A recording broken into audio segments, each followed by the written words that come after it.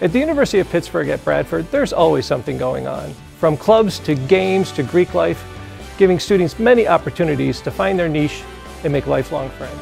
You really get to know a lot of the people on campus. Uh, you get to live with a lot of different people and uh, just meet tons of different people from different aspects of life, different walks of life.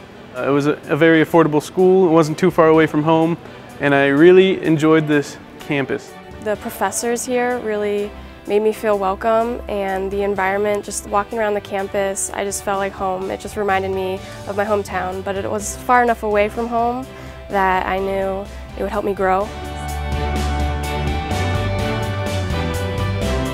I'm Tatum Wortman from Milton, Pennsylvania, and I chose Pitt Bradford.